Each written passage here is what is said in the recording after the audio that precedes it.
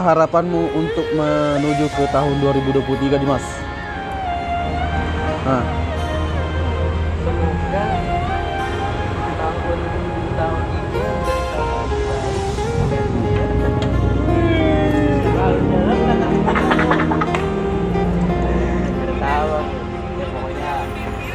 ya doa terbaik lah. Intinya, apakah ada niat untuk CLBK sama mantan?